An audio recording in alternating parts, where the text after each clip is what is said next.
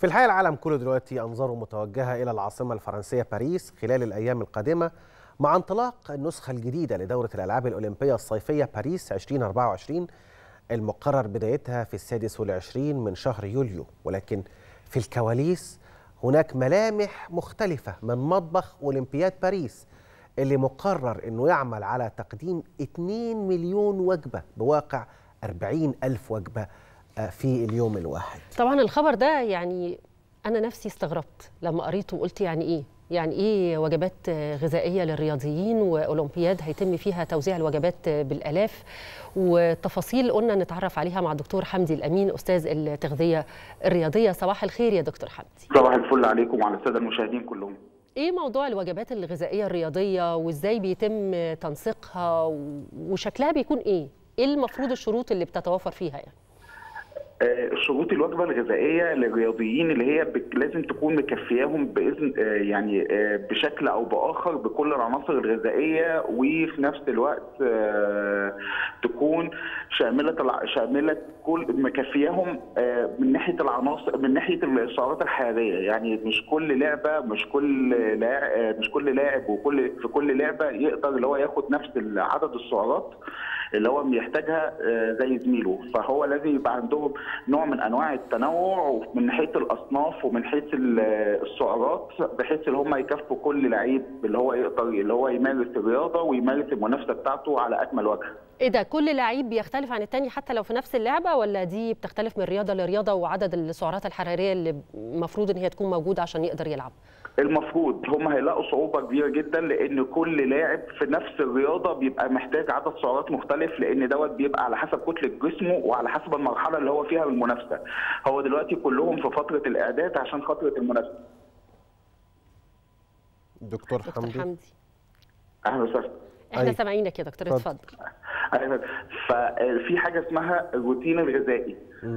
الروتين الغذائي اللي إحنا اللي كل لاعب بيتبعه في رياضة معينة بيبقى مم. مثلا في رياضات السرعات زي ال ال الالعاب القوى أو الدراجات أو السباحة بتبقى مختلفة كنظام غذائي بيتبع للأنشطة اللي بتعتمد على القوة زي الملاكمة أو الألعاب اللي فيها fighting غير الألعاب الجماعية اللي بتبقى زي ال handball وكرة القدم.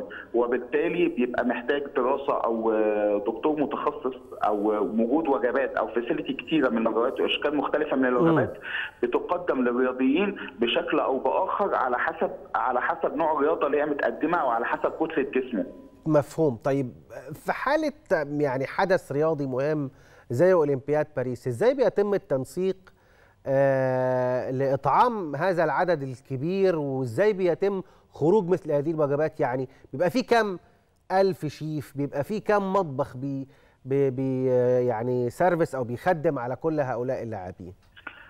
القريه الأولمبية عامة لما بتبقى في أي دولة بتستقبل الحدث الرياضي الكبير دوت بيبقى بيبقى محتاجة اللي هي بيبقى عندها نوع من أنواع العدد الكبير من المطابخ والشيفات مع اختلاف الأذواق بتاع الوجبات. فلازم يبقى في تنوع في الوجبات لأن إحنا كشعب مصري مثلا أو شعب عربي لينا نوع معين أو طريقة معينة من الوجبات اللي إحنا بتختلف تماما عن النوع مثلا زي المطبخ الصيني أو اللي هو شرق آسيا أو المطبخ أو أو الأكل الأمريكي مثلا. أو الأكل الغربي. ف... أيوه. آه الأكل الغربي. فهو بالتالي آه هيبقى نوع فيه تنوع في الوجبات اللي هو بما يليق أو اللي إحنا اللعيبة بتاعتنا تقدر تستسيغه آه وتقدر اللي هي تهضمه وفي نفس الوقت تقدر تحصل فيه العناصر الغذائية والسعرات الحرارية اللازمه عشان خاطر التمرين والمنافسة.